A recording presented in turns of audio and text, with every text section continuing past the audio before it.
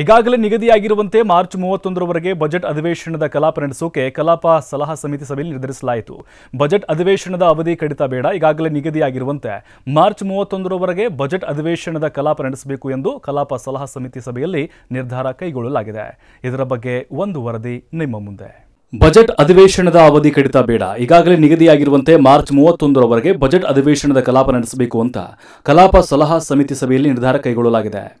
ಒಂದು ತಿಂಗಳ ಸುದೀರ್ಘ ಅವಧಿಯ ಕಲಾಪದಿಂದ ಕ್ಷೇತ್ರದ ಕಡೆ ಗಮನ ಕೊಡಲು ಸಾಧ್ಯವಾಗದ ಕುರಿತು ಕೆಲ ಸದಸ್ಯರು ಆತಂಕ ವ್ಯಕ್ತಪಡಿಸಿದ ಹಿನ್ನೆಲೆಯಲ್ಲಿ ಕಲಾಪ ಸಲಹಾ ಸಮಿತಿ ಸಭೆ ನಡೆಸಲಾಯಿತು.